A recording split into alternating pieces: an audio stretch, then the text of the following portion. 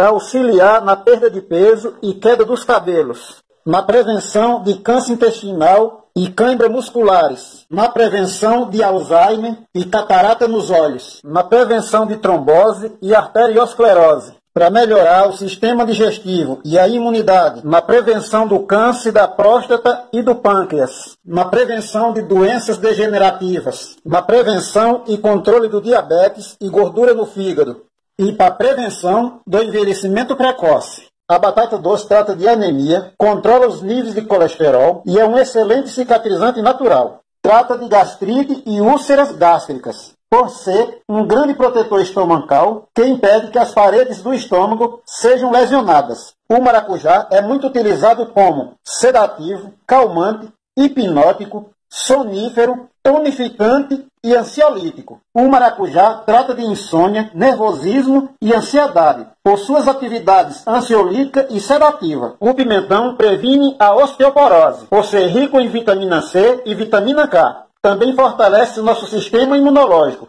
por ser rico em vitamina A e vitamina C, que facilita a produção de anticorpos. Você quer saber todos os benefícios de todos esses alimentos? Se inscreva no canal curta e compartilhe. E até o próximo vídeo.